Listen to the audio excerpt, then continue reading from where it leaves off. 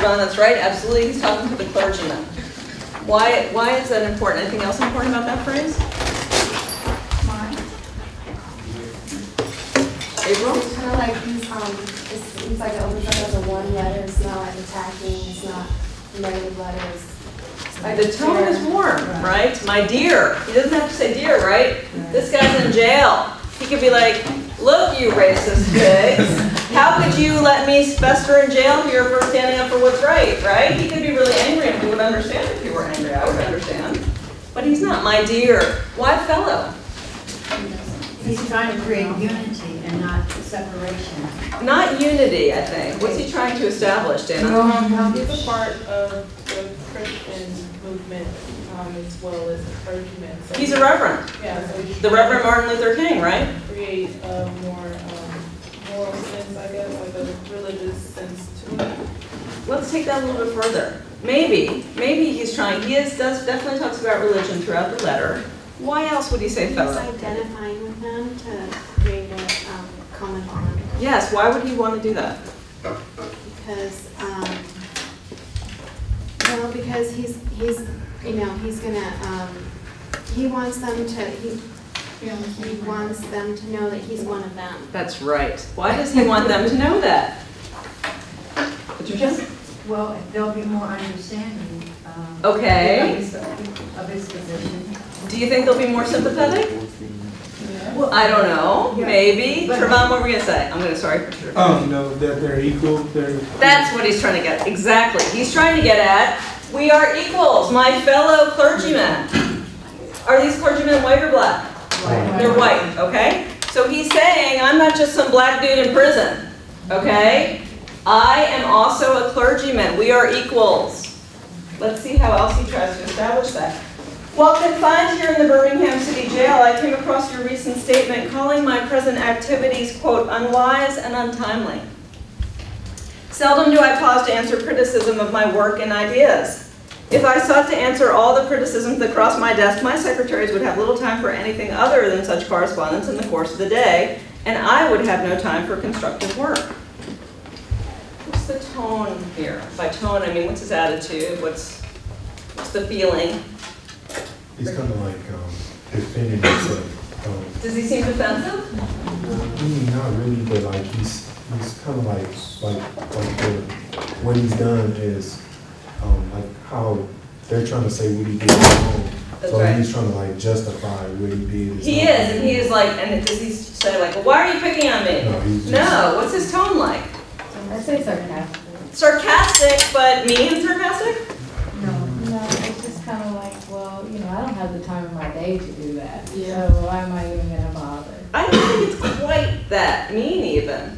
Jeremy? I think it, it sounds like professional, like he's a busy man who has a responsibility, and so he's not, he's like, yeah, not reacting angrily, which would be kind of childish. I'm probably not reading it right, but I think he's trying to be funny. He's trying to say, look, if I answered every single time someone criticized me, I would just do that. My secretaries would only do that. But, and he's gonna go on to say, why do you think he mentions the part about his secretaries? Because he said, he could just say, you know what, I'd be so busy just doing that, I'd have no time for anything. Why the secretaries? Michaela? It shows that he, that he has, like, the means to have secretaries, that, that he's above just being a lone man. He has people that work for him. Exactly, so what does that establish?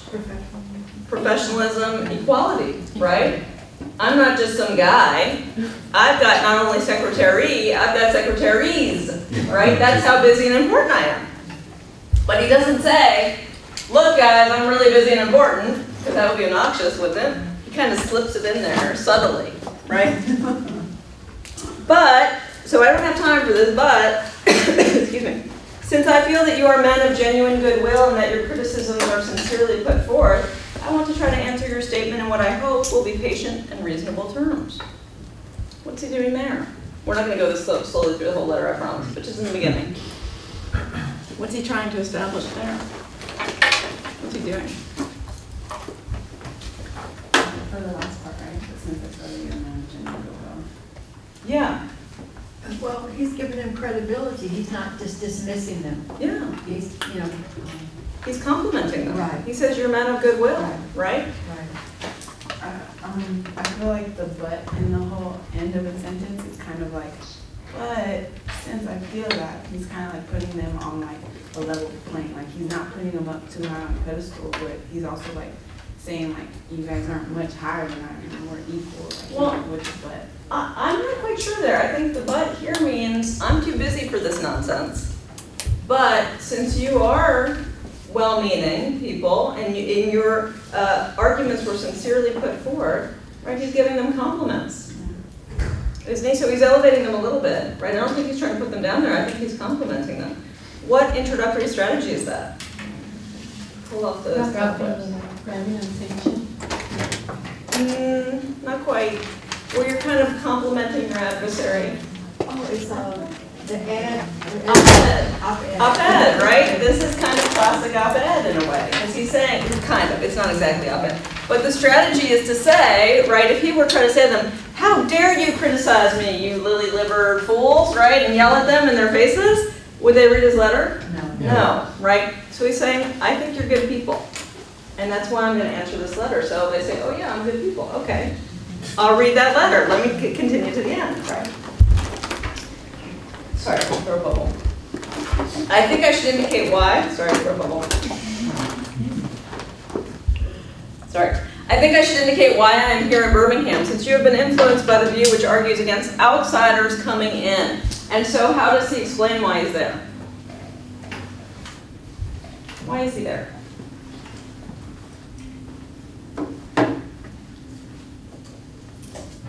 He was invited. Isn't that, that one of the worst um, cases where racial, inter, racial stuff is that? Yeah, so he says there's a need for me to be here, I have to be here. What else does he say? What other, he has some very practical reasons for why he's there. Patricia, I heard you shout it out. Yeah, he was, in- he was invited. He was invited. He has community ties here, right? So if he's invited, what does that make him? Means that. Someone who's invited is what? A guest. A guest. Yes. How do you treat guests? You put them in jail? No. Shame on you clergymen. I'm here because I was invited. I'm a guest and I'm sitting here rotting in jail, right? And then he goes to get more serious, which is what Enoch was talking about. But more basically, I am in Birmingham because injustice is here. Just as the prophets of the 8th century BC left their villages and carried their thus saith the Lord far beyond the boundaries of their hometowns. And just as the apostle Paul left his village of Tarsus and carried the gospel of Jesus Christ to the far corners of the Greco-Roman world, so am I compelled to carry the gospel of freedom beyond my own hometown. Like Paul, I must constantly respond to the Macedonian call for aid. Uh, who were the apostles? Yeah, Jesus' disciples, and what was their job after Jesus died? To spread the word, right? They had to go out and spread the word. So he's saying, it's my job. On, who's he comparing himself to? Jesus. Well, to the apostles specifically, right? He's comparing himself to the apostles. How do you think that um, makes him look?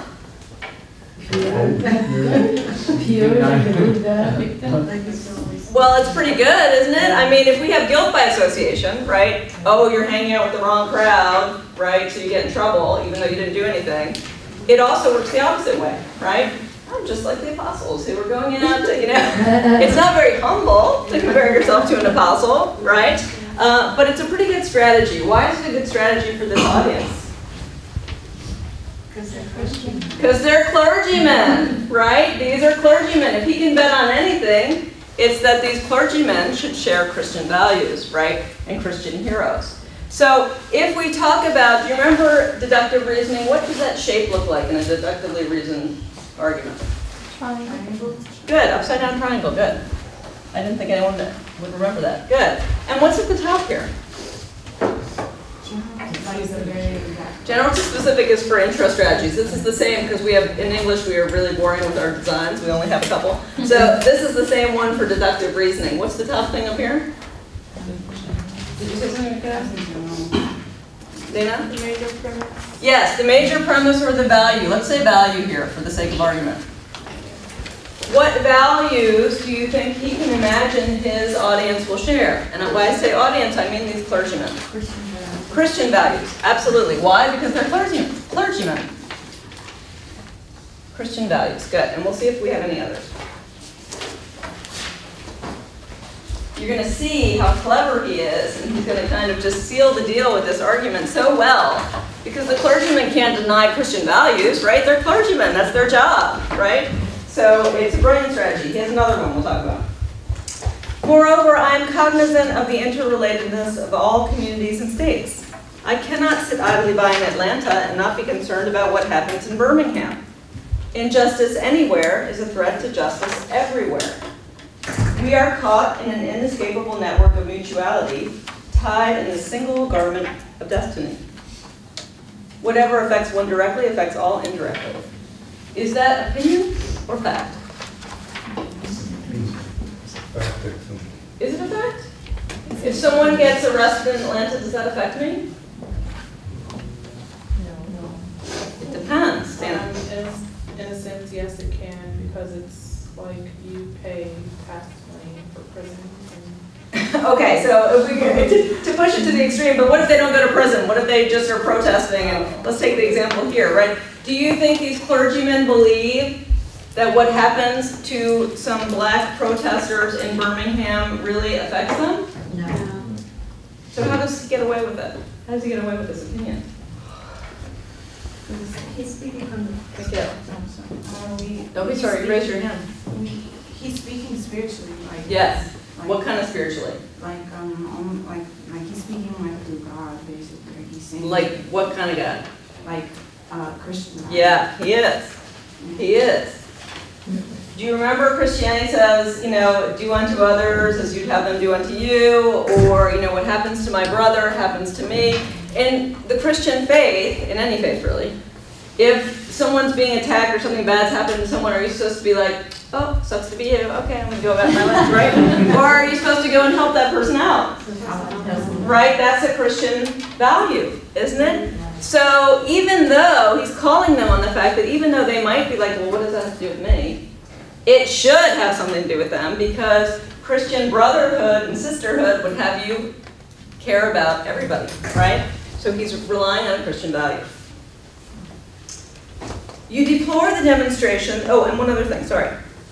Never again can we afford to live with the narrow, provincial, outside agitator idea. Anyone who lives inside the United States can never be considered an outsider anywhere within its bounds. This is tricky, but I know you can do it. What's he appealing to here? It's not Christianity anymore. He's made a subtle shift. Jeremy, how do you want to answer? Patriotism? Yes, and what kind of idea? What was America? Why are we patriotic in America? It is tradition. What were we the first country to do? Establish a democracy. That's right. That's our claim to fame, among others. So democratic with a little d, not big D, because that would be like Obama versus Romney, right, capitals, but with a small d, democratic values like, what is the idea behind democracy?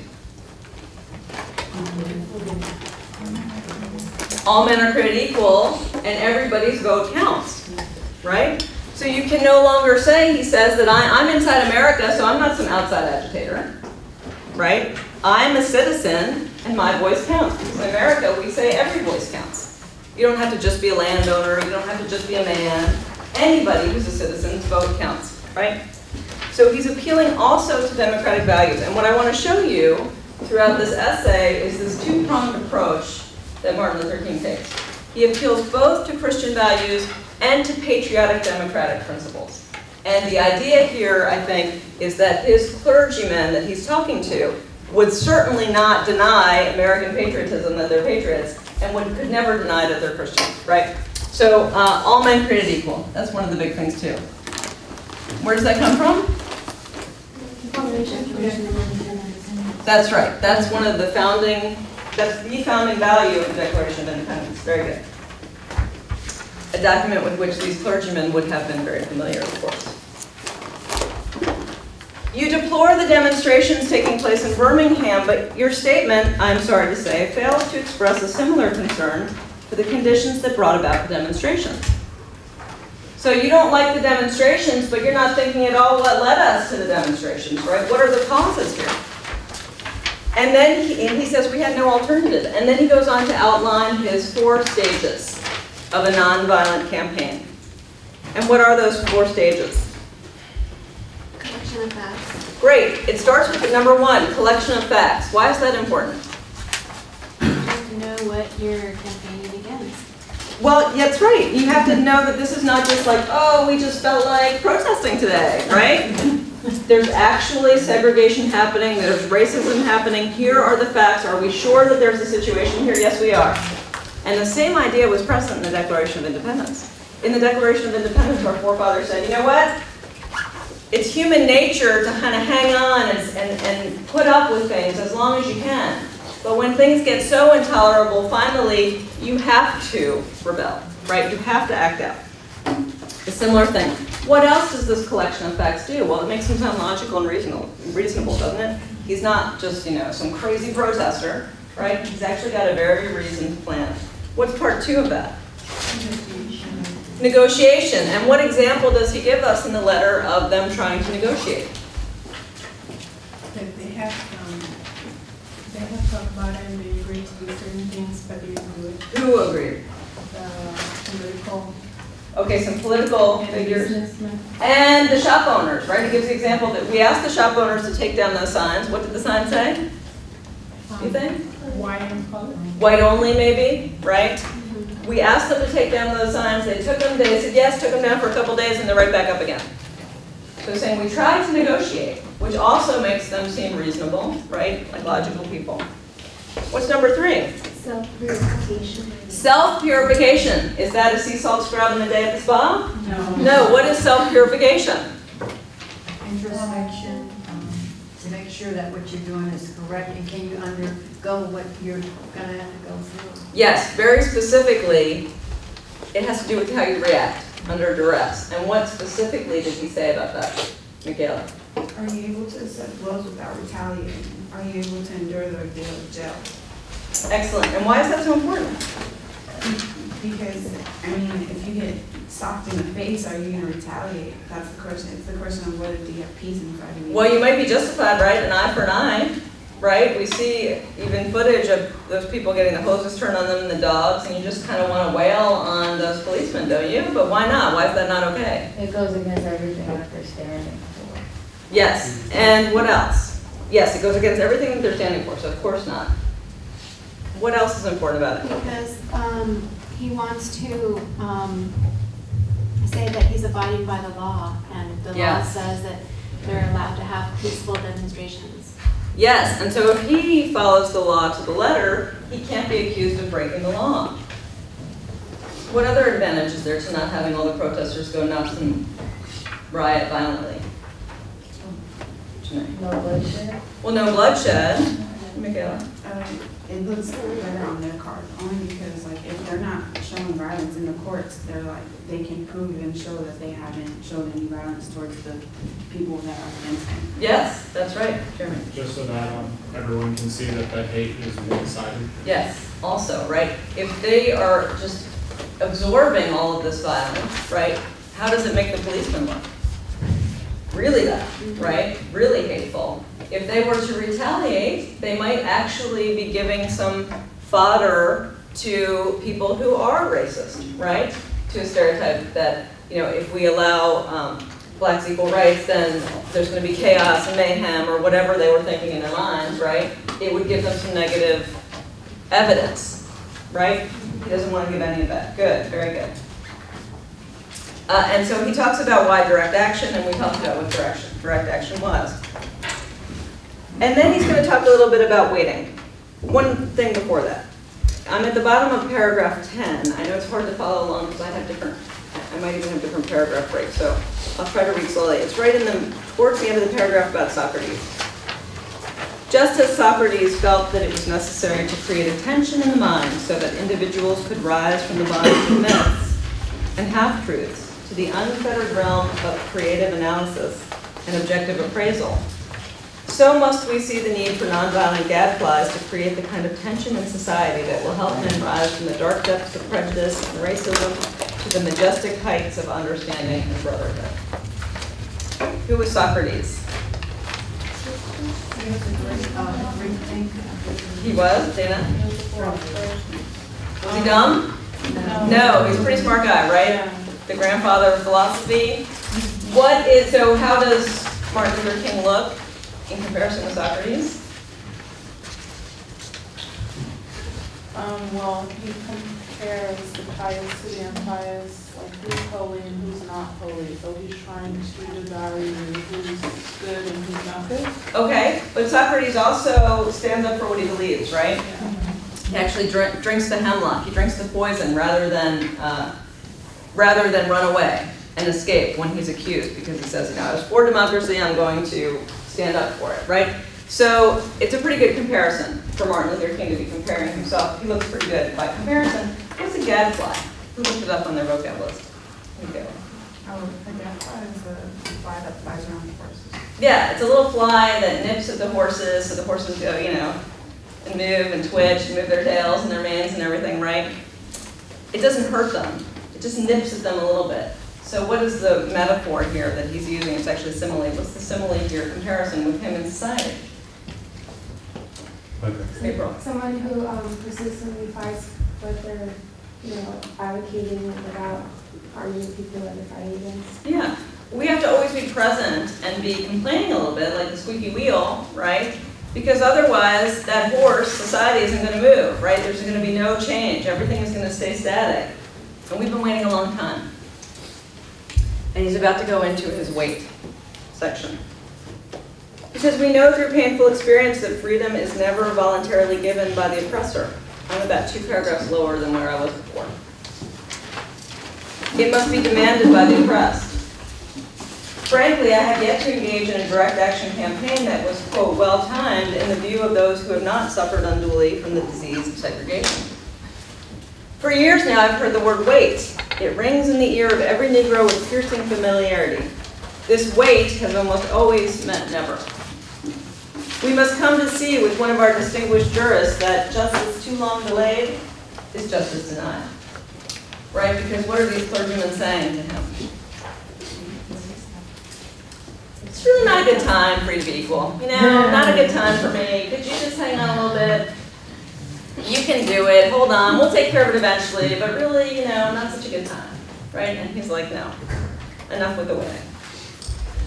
We have waited for more than 340 years for our constitutional and God-given rights. Notice this two-pronged, right? Our constitutional, the Constitution, and our God-given rights. And throughout the essay, you'll see that two-pronged approach.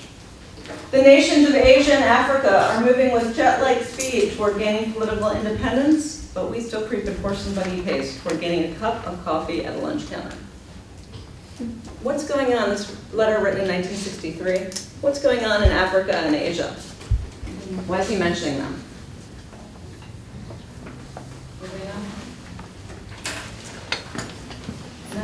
Because, um, since, um, like, um, black people are looking towards other religions, that's why he's talking about, like, Africa and. No, good guess, but not quite. Politically in Africa. Yeah, exactly. Africa and Asia had been colonized, right? By the English, by the Dutch, uh, by the French. And in the 60s, we saw a big move of countries gaining their independence, right? Kenya became independent, uh, many countries became independent. And so what he's saying is, blacks in other countries said, you know what? Thanks, but no thanks. We got this. We're going to rule our own country. Get out, please. Right? And they had, for the most part, fairly peaceful uh, rebellions that ended in uh, blacks, actually, you know, Africans and Asians leaving their own countries, right? But how does that make us look by comparison? What are we trying to struggle for? A cup of coffee at a lunch counter, right? It seems just so silly, just so ridiculous. And you can imagine these clergymen who would have been very patriotic, right? How are we feeling in the 50s and 60s after World War II in America? What have we just done in the world? The world. Yeah, we consider ourselves the saviors of the world, right? Our technology, I mean, we use the atom bomb, right? Our technology is through the roof. We can do anything, we think, right? We have clothes dryers, we have washers, the only countries in the world. TV, Sorry? TV. We have TVs, we can make green jello. I don't know if we should have, but we had the technology and we did it, right? We have bread with preservatives in it, so that now you don't have to have your bread, bread go bad. You can truck bread across the country and people don't go hungry anymore. We can feed people a lot better than we could before, because food stays on the shelf. Right, we found out later, of course, you know, we also have pesticides, time of pesticides. So now you have crops that yield an incredible amount of food all of a sudden. No more hunger in America. It's pretty amazing, right? Um, two cars in every garage. Of course, we didn't realize the Frankenstein implications at the time of a lot of these things we were doing, which we're realizing now. Uh, but at the time, we were on the top of the world, right? So to compare Africa, which we have seen as, you know, a fledgling developing country in need of our help and civilization, right? They're moving at jet-like speed and we're at horse and buggy, right? We're way back in the past. It's going to prick at the pride, right, of these clergymen. Do you think he also means like, well, might as well we just stay in Africa and you didn't, you know, just come and pick us up because now we would have been free and we're here, supposedly come for a better life and we're still slaves and we We still. come for a better life. That's right. That's right. Right, right, so maybe he's mentioning Africa also, like, look, our brothers are even free and we're trying to, You know, I don't know, because he's gonna make the point a little bit later that we are Americans too. And I'm Yeah. talking as if I'm black today, I hope you guys don't mind. But he's saying, you know, we're, we're Americans too. We are the foundation of, sorry, the foundation of this country, right? He's saying, we built this country too, and it's outrageous that you're not letting us have a cup of coffee, right? So I'm not sure about that. Let's, let's put a pin in that for a second. Perhaps it is easy for those who have never felt the stinging darts of segregation to say, wait, Your neighborhood is your friend. so what's he saying? He's saying, it's easy to say, wait, not a good time, if you're not the one enduring the indignities of segregation, right? And what's about to follow is my absolute, hands down, favorite example in the whole history of literature of the use of the semicolon. Because I'm gonna read to you a sentence that is just brilliant. And uh, we're gonna talk about it. So I first have to take a drink because I will run out of air way before I run out of sentence.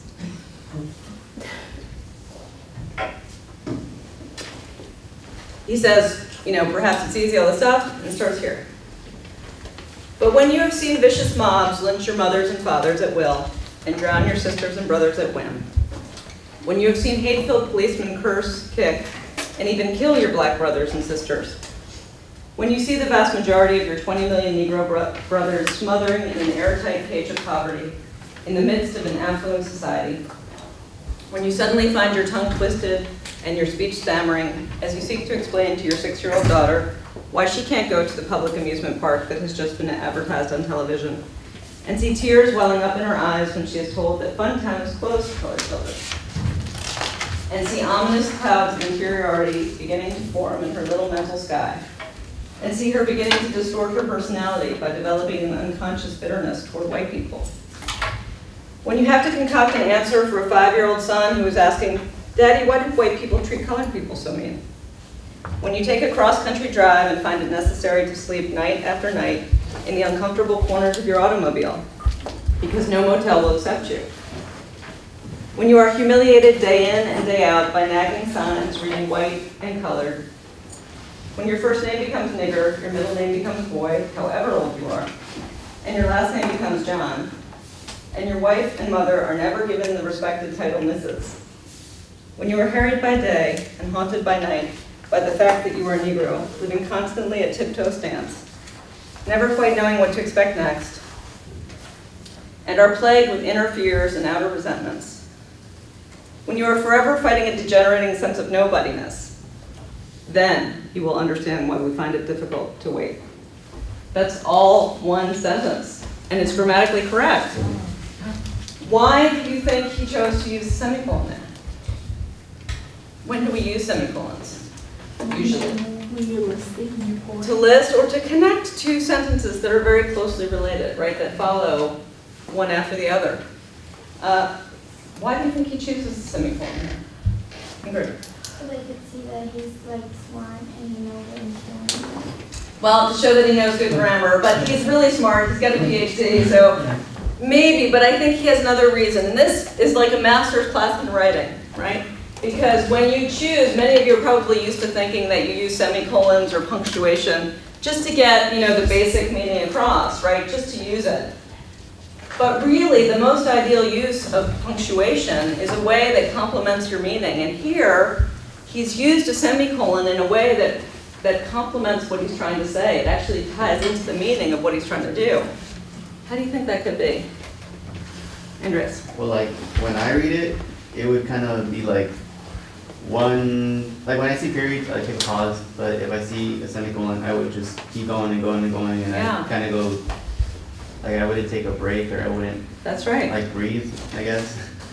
So to me, just seeing all that would overwhelm me, and then like kind of like, I don't know, not, not panic, but more like, like realize or think about it more in depth as to just seeing it cut up by periods. Yeah, how does that fit in with our theme? Exactly what you're saying is completely right. How does that fit in with our theme? What are we talking about here, people? What is the topic of the sentence? What's the subject we're talking about? Can't wait. Waiting.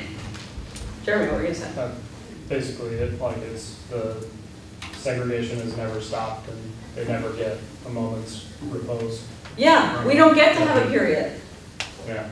You don't get to say, oh, you know what, I'm just not going to be, no one's going to be racist to me today. I'm going to take a little period time out, right? Because that's not the way it works. It's unrelenting, it doesn't stop, there's no break. How else does this function? If this is about waiting, what has he made us do? I think he's, um, by stating all of this in one sentence, he's trying to invoke in them, um, the emotions to create a passion with them, to, um, to see that, oh my God, all these things are terrible, of course we can't wait. Yes, he is definitely doing that, absolutely. We're going to talk about that. Dana? I feel like he's um, setting up a story within a story, giving the people a vision of the waiting. Yes, he is.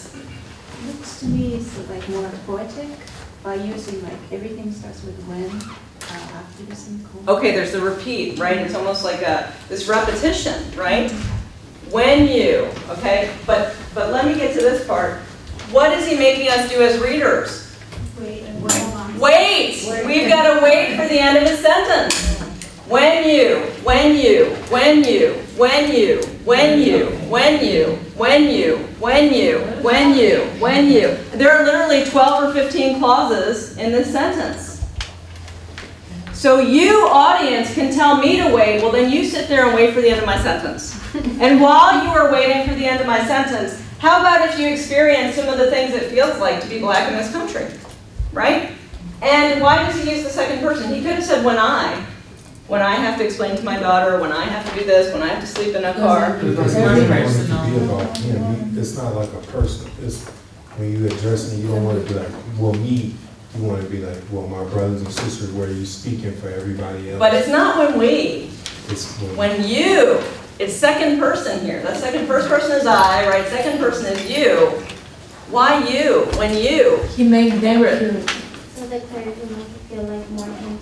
Yeah, when you use the second person you, they have to feel for a second within the confines of your sentence. being that person. experiencing what you're talking about experiencing, right?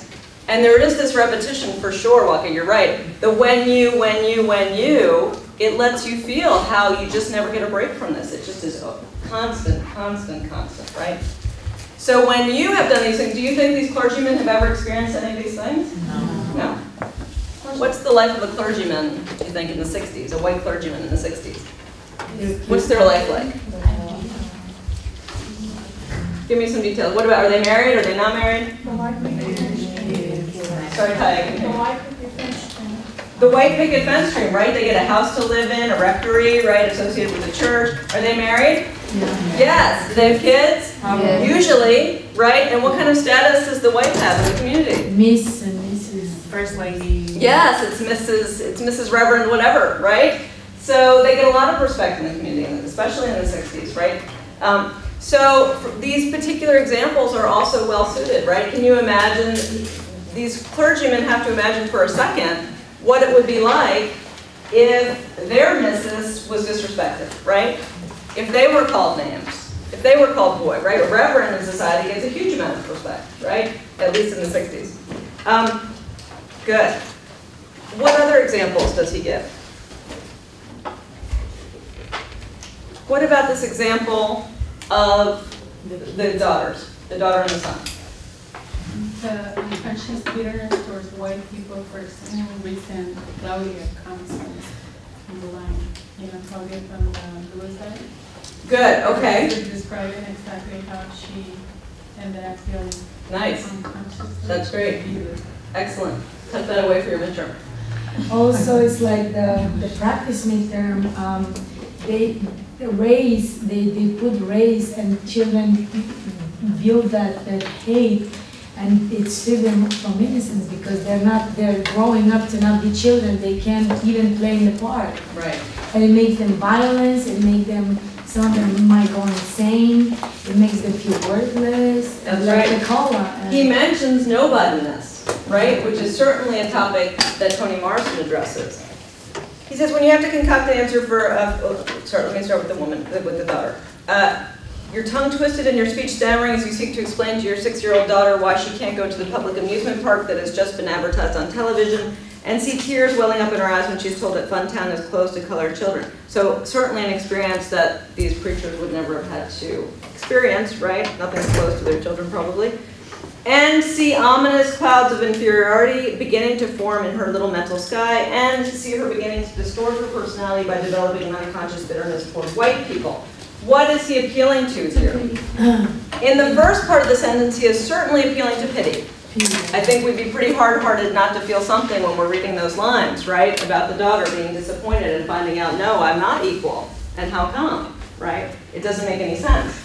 But in the second half of that, the second clause of that idea, I think he's appealing to something else, and it's not pity.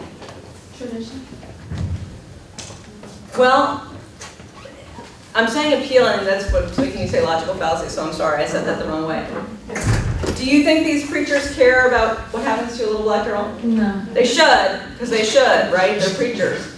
But do they? Maybe not, because Like then, Shirley Temple, when she was uh, black, when she put the color in her face, they treated her different. that's right, that's right. What do they care about? He's appealing to them being parents. He's appealing to them being parents, but I think that's part of the pity thing. What about these ominous clouds? What's, in- what does ominous mean? Numbers, bad. It's threatening. Threatening. Dangerous. So what is he trying to get them to think of, Ricky? Um, well, if they keep treating the little girl like that, that her bitterness and hatred, when she grows, is gonna manifest into some sort of like, I guess something that you wouldn't even want to deal with. Right, right. So he's threatening a little bit. He's Creating a- monsters, he's a- basically telling you creating a monster. Yeah, he's appealing to their self-interest. If you don't, you should care because you're a preacher, but if you don't care about what's happening, you should care about the fact that a whole generation of kids is gonna grow up to hate your guts and be bitter towards you. And he said, uses the word ominous, which means threatening, right? Violence, hatred, uses those words, right? Those are not, that's not what you want to encourage, right? He's kind of making them scared a little bit. Good. The only other thing I wanted to say also about, um, second, well, he's also appealing to tradition, I should say, just to back up for a second. Because of the traditional ways that they're treated, the traditional family, all of that is taken away from a family that uh, has to withstand racism, right, and segregation. Um, One other thing I want to say about uh, you. When he uses you, as Ricky was saying, um, if he were to say I, I, I, he might get the response like, oh, that's terrible, I feel bad for you, that's too bad, right? But when he uses you in second person, you kind of can't escape it, right? It's not just their problem, it's your problem now, which is the idea he's trying to get across, right? Where this inescapable mutuality, uh, interconnectedness, right, of everyone. I knew I'd find that thing I wanted to find. Okay, he talks about civil uh, disobedience. He talks also about, uh, uh, you know, he, he talks about, I'm going to just read a couple of things, and if you can't find it, don't get too stressed out. I'll try to go slowly so you can, but uh, he talks about the just laws, as we talked about in the quiz. St. Thomas Aquinas, an unjust law is a human law that is not rooted in eternal law and natural law. He says all segregation statutes are unjust because segregation distorts the soul, something preachers should care about. and damages the personality. It gives the segregator a false sense of superiority and the segregated a false sense of inferiority. Segregation, to use the terminology of the Jewish philosopher Martin Buber, substitutes an I-it relationship for an I-thou relationship and ends up relegating persons to the status of things, right? Which is not a very Christian idea. He says later in that paragraph, thus it is excuse me, that I can urge men to obey the 1954 decision of the Supreme Court, court is morally right. What was that decision of the Supreme Court? Brown versus Board of Education, that's right, segregation illegal. And I can urge them to disobey segregation ordinances for they are morally wrong. So he's trying to speak now to the idea of people saying, well, you're just breaking the law. It's the law that, that segregation is legal in the South. And he's saying, well, this is why I'm justifying breaking the law. Says an unjust law is a code that a numerical or power majority group compels a minor- minority group to obey, but does not make binding on itself. This is difference made legal. And then he says, let me give another explanation. Okay, so all of those things he's talking about is morality, up to that point. St. Thomas Aquinas, right, appealing to which value? Christian, right? Now he's going to flip it and appeal to your democratic sense. Says, let me give another explanation. A law is unjust if it is inflicted on a minority that, as a result of being denied the right to vote, had no part in enacting or devising the law, right? The idea behind democracy is that everybody's vote counts. He's saying a lot of the blacks were prevented from voting, therefore this is not democratically legal or just. Who can say that the legislature of Alabama, which set up that state's segregation laws, was democratically elected? Throughout Alabama, all sorts of devious methods are used to prevent Negroes from becoming registered voters. And there are some counties in which, even though Negroes constitute a majority of the population, not a single Negro is registered. Can any law enacted under such circumstances be considered democratically structured? No. Jump down a couple of paragraphs. Do you see what he's trying to do? He's trying to lock his audience into realizing that if you agree with these major values, there's no way you could ever in a million years say that segregation is right. You just can't do it. So if you get to the end of his, if, if they're still reading and they get to the end of his letter, they can't help but say, okay, we either agree that segregation has to go, or we're just racist, right? He's really locked it in, very beautifully. Uh, he says, of course, there's nothing new about this kind of civil disobedience. It was evidenced sublimely in the refusal of Shadrach, Meshach, and Abednego to obey the laws of Nebuchadnezzar on the ground that a higher moral law was at stake. It was practiced superbly by the early Christians who were willing to face hungry lions and the excruciating pain of chopping blocks rather than submit to certain unjust laws of the Roman Empire. Right? The early Christians were fed to the lions. Did you all, you've heard that before, right? They were willing to be eaten by lions rather than say, oh no, I don't believe in Jesus. Right? That's pretty amazing to think about, right? We all say, oh, we stand up for what we believe. But if there was a lion out there who was going to rip you from limb to limb, it's pretty hard, isn't it? I mean, that's a pretty amazing person, especially when there were no antibiotics, no surgeons, right? it means something else to stand up for your beliefs. Like, I'm willing to die to say, I believe in X, Y, Z. And walk out there, and because you believe it and you're not willing to say nope, like, how easy would it be to like, be like, Jesus who? I'm fine, you know? Like, I'll just pray in my own room, right? And nobody has to know. How easy would that be, right? And yet, throughout history of the world, of human beings, there have been human beings willing to stand up for an idea, for a principle. It's pretty amazing, I think. Uh, and so he's comparing himself to those early Christians. Of course, our preachers have to value what the early Christians did because otherwise there'd be no Christianity, right? If there weren't some people early on willing to say, you know what, not so sure about all these multiple gods, I believe in this one God, then uh, there wouldn't be Christianity. Go ahead. And he really did stand up for them because he lost his life behind what he believed in. Martin Luther King, Yes. that's exactly So right. he. Yes, you're right, good point. Sad point.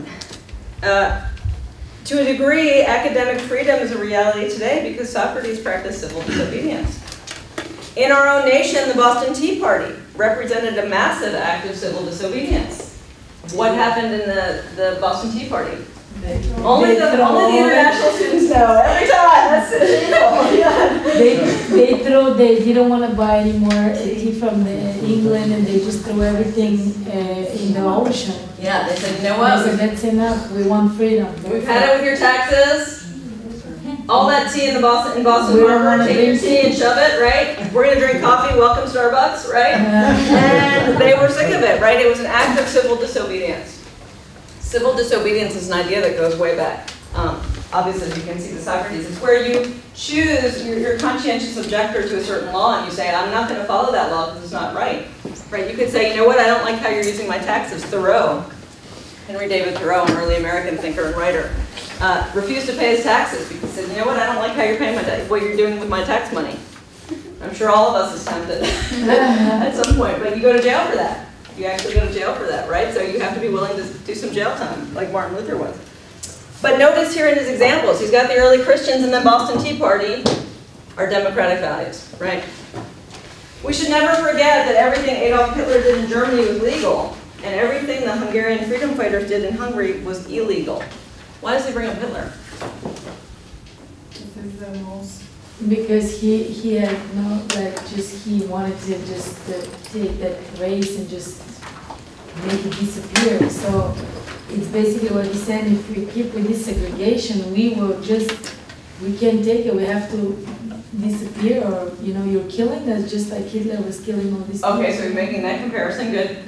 It's also relevant because it was just the end of World War II. Yes, so we're just coming, you know, not just 20 years, but still, that's a, was a pretty big deal, right? We're still riding high from that, right? We just defeated Hitler, and it's true that segregation uh, is a kind of form of, you know, it, it's not that far from ethnic cleansing, right? It's the next step. What's the next step if it goes the, the wrong way, right? Yes, Yeah, Hitler was with brown eyes and brown hair, and he was Taurus like me.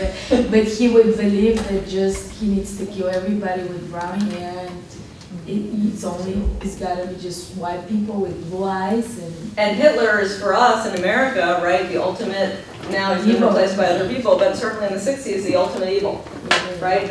I don't think there are many people named Adolf anymore in this country, right? The ultimate symbol of evil, right?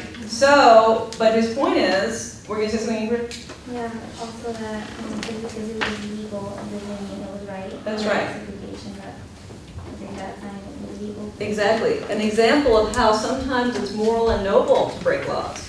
If there's a law enacted that is a terrible law and cruel to people, it's your moral obligation to say, I'm not gonna follow that law, right? Um,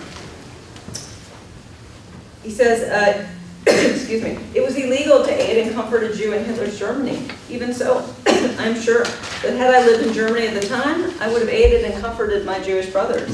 If today I lived in a communist country where certain principles dear to the Christian faith are suppressed, I would openly advocate disobeying that country's anti-religious laws.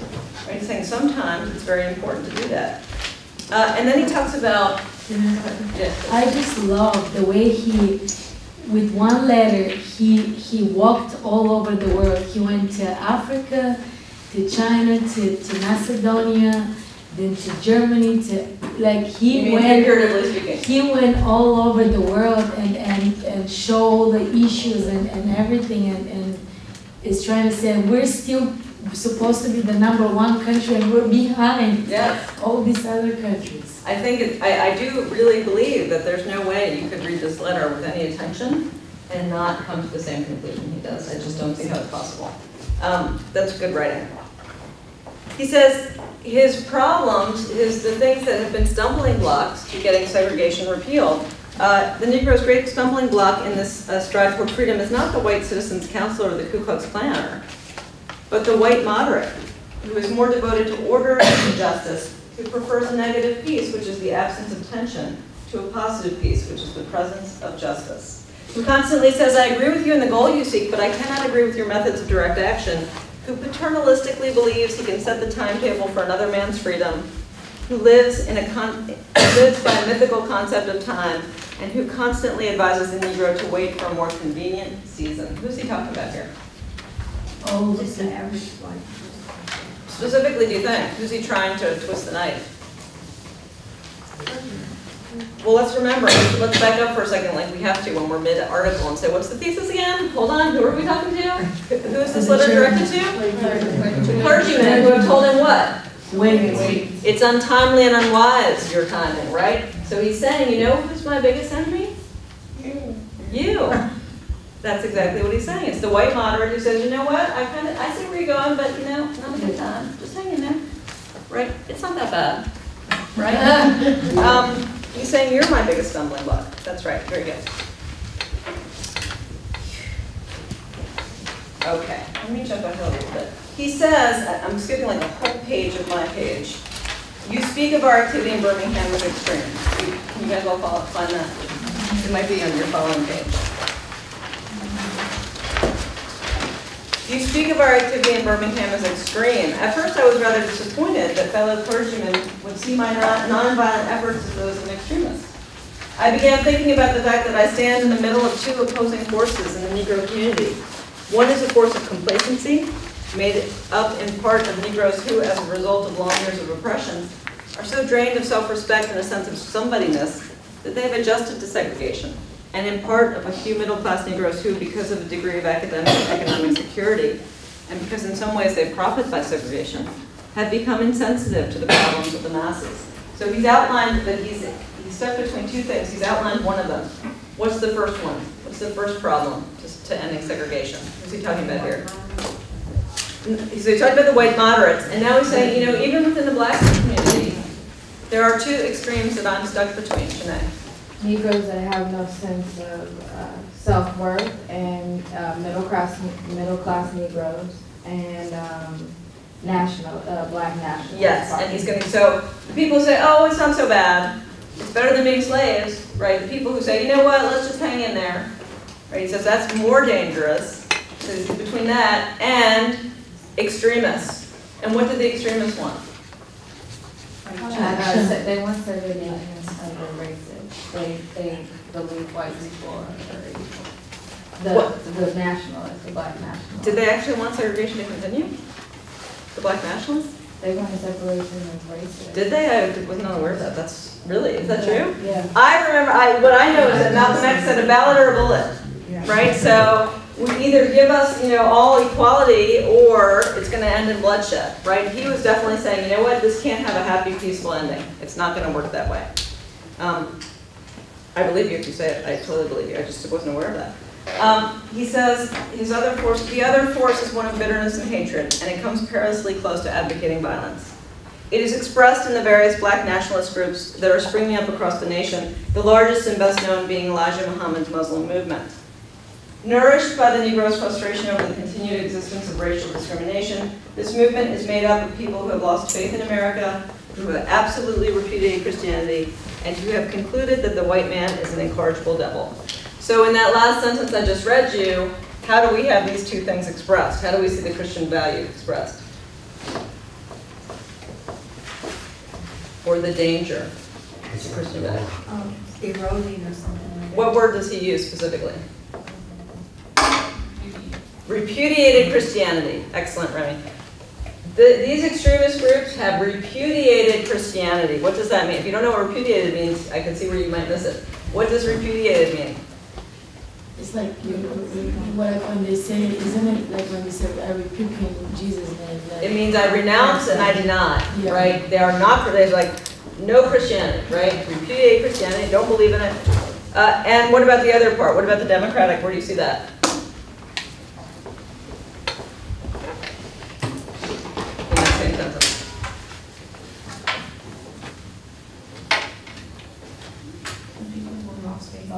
Excellent. They've lost faith in America, right? We're really talking about two faiths, right? We're talking about Christian faith and American faith, right? Patriotism and the faith of America, the great, right? Good. And he says, it's a good thing that I'm in between these two things and that the church has helped me. And he reminds them also that he's part of a church movement. That's not just him on his own as a renegade, that this has been uh, the movement of the black churches. He says, I'm grateful to God that through the influence of the Negro church, the way of nonviolence became an integral part of our struggle. If this philosophy had not emerged, I'm, by now, many streets of the South would, I am convinced, be flowing with blood. What is that? What's he trying to say?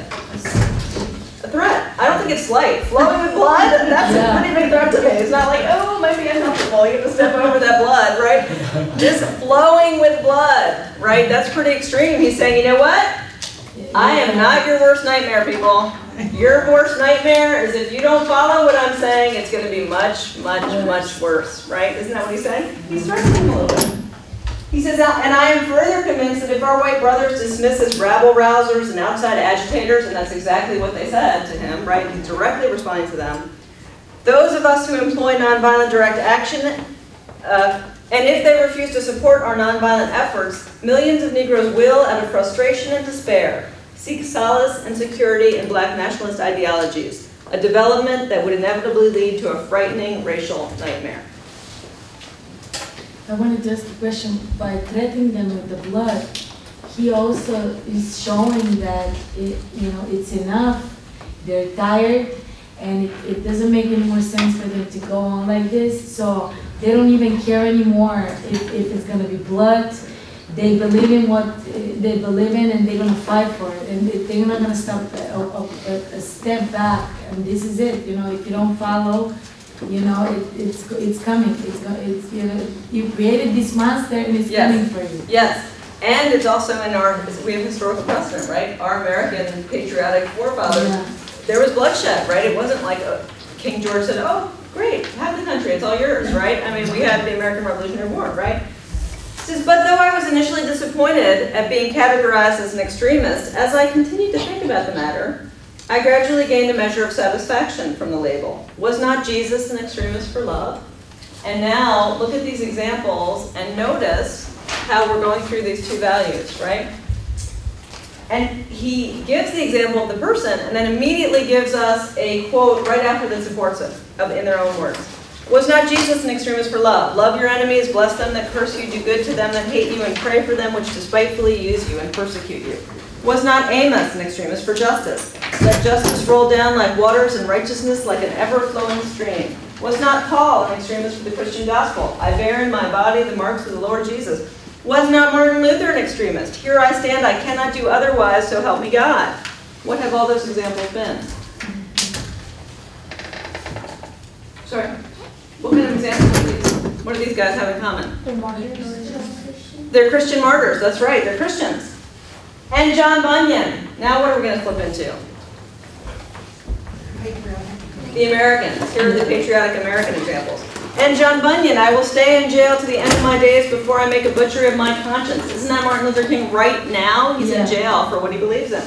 And Abraham Lincoln, this nation cannot survive half slave and half free. And Thomas Jefferson, we hold these truths to be self-evident, that all men are created equal. He comes out and says it, right? It's that main tenet of his whole argument here.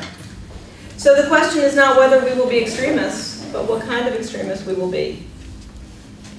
Uh, he talks about the crucifixion. Uh, I'm not going to go through all of this, but he says, you know, for the church to be relevant, it's becoming an irrelevant social club, he calls it. Because the church's job had always been to stand up for people and what they believe in, and the church is not doing its duty, he says. But the judgment of God is upon the church as never before. If today's church, and this is also a kind of threat, right? You're going to be obsolete. Your jobs are, you're going to be out of a job soon because you won't have anybody sitting in the pews if you don't get real and start dealing with social issues like is your job. If today's church does not recapture the sacrificial spirit of the early church, it will lose its authenticity, forfeit the loyalty of millions, and be dismissed as an irrelevant social club with no meaning for the 20th century. Every day I meet young people whose disappointment with the church has turned into outright disgust. Um, so he's saying it's going to be just the old people in church, there won't be any young people anymore. Uh, Finally, we will reach the goal of freedom in Birmingham and all over the nation because the goal of America is freedom. Abused and scorned though we may be, our destiny is tied up with America's destiny. Right? And this is the idea that he introduced earlier, where this fabric of mutuality, right? And he's talking about uh, black Americans. Before the Pilgrims landed at Plymouth, we were here. Before the pen of Jefferson etched the majestic words of the Declaration of Independence across the pages of history, we were here. For more than two centuries, our forebears labored in this country without wages. They made cotton king, they built the homes of their masters while suffering gross injustice and shameful humiliation, and yet out of a bottomless vitality, they continued to thrive and develop. If the inexpressible cruelties of slavery could not stop us, the opposition we now face will surely fail. We will win our freedom because the sacred heritage of our nation and the eternal will of God are embodied in our echoing demands. Right? The sacred heritage of our nation, what is that sacred heritage? All men created equal and standing up for what you believe in, right? That's why we were founded, freedom, right? And the eternal will of God. We got both of those values in almost every sentence, almost every major sentence, right? Okay, I think we're done. Um, yeah, I'm gonna stop here to see, make sure you don't have any questions. He says, I've never written such a long letter at the very end. I hope you'll forgive me. You know, he uses, comes back to his humor a little bit. Ty says, That was yes, a it's good long, I saw that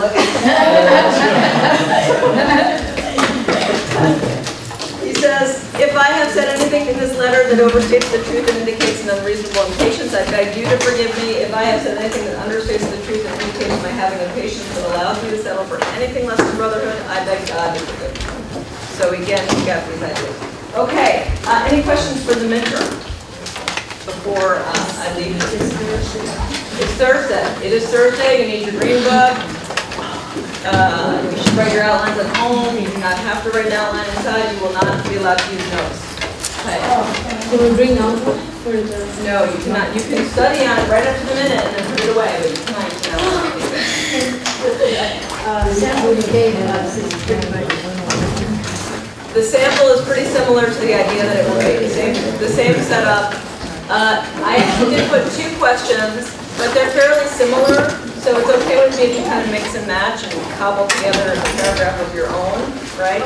So uh, the way to prepare is really look through the Westcott again, chapter on how to ace the exam. Make sure you're covering your bases there with looking at the notes, thinking of the themes, making an outline. There will be an image, uh, there'll be two images actually that you'll be asked to choose one to talk about and incorporate, and incorporate into your essay. Other questions? Sandy? You have an extra outline? You mean a practice essay? Practice- Yes, I have an extra practice. Other questions? Is that picture that was supposed to write an outline, is that gonna be the one that? No, I have two much better pictures than that that I can't wait to show you. I'm really excited. They're really good pictures. You said the art, the other article, they're gonna be included, so we're. Yes, basically what, what it is, is you're gonna have to talk about bluest eye. You're gonna have to talk about bluest eye because that's the quote, right? So you're gonna deal with the quote. Then you're gonna talk about the question underneath, the question, or in one case, I've given you kind of a statement to defend. Uh, and then you can talk about any of the articles that we've read. So you certainly you're talking about bluest eye, you're gonna talk about one of the pictures, so that's two things for sure. Then I'd like you to talk about Martin Luther King. I'd like you to talk about, um, you, you, then you have the choice. You can talk about Fresh Faces, you can talk about Victims from Birth, you can talk about Imitation of Life, you can talk about Shirley Temple. That's as you like, right? You can people it with the evidence that you see fit. Okay, I have a question. Yes. So for example, let's say we pick a quote and, so we start with a kind of introduction and we talk about the first paragraph after, we come up with a thesis. And then the first paragraph, we talk about the quote and what happened before and after maybe the quote. Uh-huh. And then later on, um, we can add the, some of the other articles and talk about what they all have in common or? Yeah, I think maybe the way to organize it might be to, to have a paragraph on the bluest eye then, so you talk about the quote, then you give other examples that are similar or that talk also about the theme that you're talking about. Then you say, uh, while this theme is apparent in, um, the Let's say bluest we talk about eye, and. the article Fresh Faces also talks about it, and then you're off and running in Fresh Faces. Then you say, the picture illustrates, and I'll give you the title of the picture when we get to it. Um, It also illustrates this, that, or the other thing, right? So I think I would organize it by the text that you're talking about. By text, like, could be the movie, could be. Do we need to include Martin Luther King's portrait? Um, I would like you to talk about Martin Luther King, and just a heads up, I think the best way to talk about it is to concentrate on that wait speech that we talked about. I think that that's probably the easiest bridge, um, in my mind, but I've seen students do some other exciting things with it, so I would like to have you write about Martin Luther King. Other questions? I'm thinking, I'm not gonna be counting paragraphs, So, and I'm not gonna be taking off for grammar or spelling, so you don't need to get worried about that. Uh, you know, I think five, or six paragraphs is probably good. What I want you to do when you leave, it always, I always worry about students who leave early from the exam, just because I feel like, really, are you sure that you said everything you? I mean, you know how detailed I am, how much I like, like really looking at things and giving examples, like, really, you'd rather go get a coffee than cough up one more example that's gonna get you ten point, like, that's a choice, I'm not judging anyone who, leave- well, I kind of am judging, I guess. I haven't read it, I don't remember anyway, but I'm always surprised, so maybe you're so well prepared that you can just, you know, zip it all out and you're all done, that's fine. Just be sure that you've really given me what you can, because remember, at the end of the day, all I can do is judge what's on the page. I know, you know, don't be like, oh, she knows I know that. Well, I don't really know it unless it's on the page, right? Your grade isn't your potential, it's what's there. So hedge your bets and don't take a risk. Make sure you put it out there on the page so that I can see it and give you points for it. Um, and if you run out of time, you know, you want to jot down some- an outline and some bullet points that you would have gotten to. Other questions? I think you're all going to do really well. It's a fun exam, it's exciting. If you've enjoyed the reading so far, you'll have fun with it. It'll be good. Okay? If you haven't, I'm sorry, but fly be free. I'll see you on, I'll see you on